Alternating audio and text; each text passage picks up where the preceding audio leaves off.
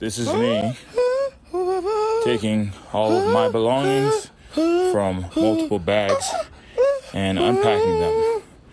I'm moving from my apartment into my cubicle at work. They do not pay me enough to do both. So, as a matter of protest, I am just going to live at my job. And we'll see how long I can get away with this. That's right, he moved into his job. What you just saw was funny but odd, yet sobering. A look at what many in this country are dealing with. A Seattle man is gaining lots of attention after moving into his cubicle at work to live there. He tells me he could no longer afford rent, and this seemed like a no brainer. There was a couple factors that came in like at the same time. My lease was ending, and my rate, uh, the lease was ending, my rent was going up, and I hadn't. None of the places that I applied to had approved me, and they were too expensive in the first place. Um, I also d- recently discovered that my office had uh, my company had an office in downtown Seattle, which to me was was a perfect location. Uh, theoretically, if I lived there, I could you know just go right to the bars, and I don't have to do that fifty dollar Uber at the end of the night. Um, and then when I talked to my I did have a conversation with my management about doing a performance review, doing a raise at the beginning of the of that of last week when all this stuff happened. Um, and they weren't, you know, they kind of brushed it off. And at that point, I was like, well, I don't have any other options because it was like Monday, you know, that was I had to something had to happen, and Tuesday my lease was ending. So, uh, so when when I had that conversation right after that, I was like, well, we're grabbing the suitcases. And you moved into your cubicle.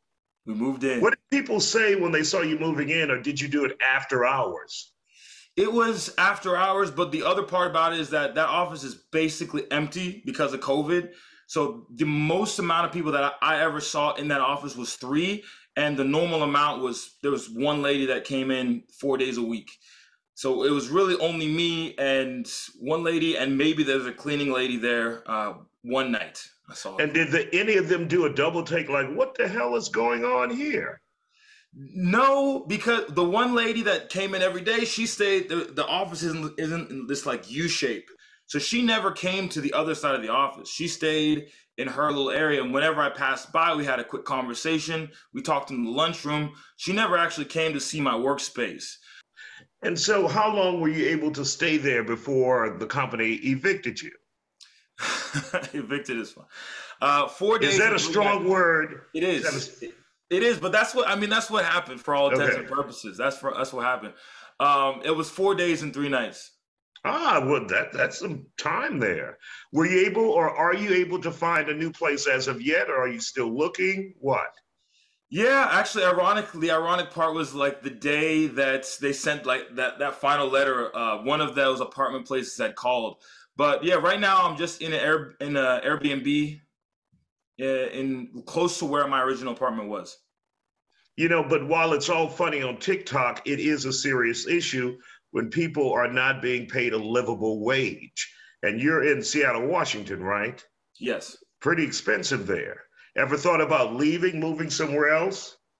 Yeah, that was the biggest thing for me. I, when I was having those conversations with uh, with the management, I was telling them, I mean, I either either we can we can work out something wage wise here or i mean the company that i was working for it's a multinational corporation all over the country i'm like you can move me with my same salary when i started this whole thing i was i was living in west virginia uh, just working remotely you can i can live with my salary in west virginia just fine i can't live in new york la you know sacramento or seattle with that same salary so it's it's um to me I think companies really have to pay attention to the cost of living, especially now with you know, we see gas prices, rents are going up across the board. Basically, everything is more expensive.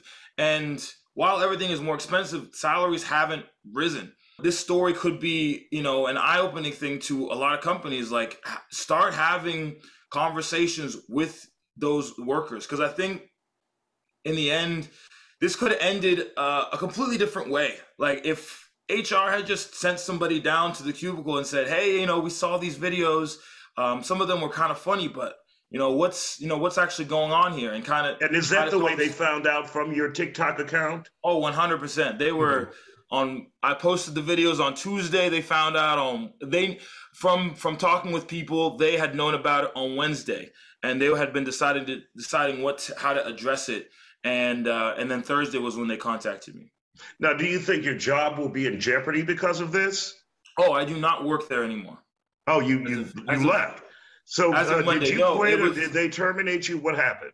I was official. I decided to not quit. I decided to just let them terminate me. Well, Simon, we wish Fire. you the best. Hopefully, you find another gig. Have you found one yet?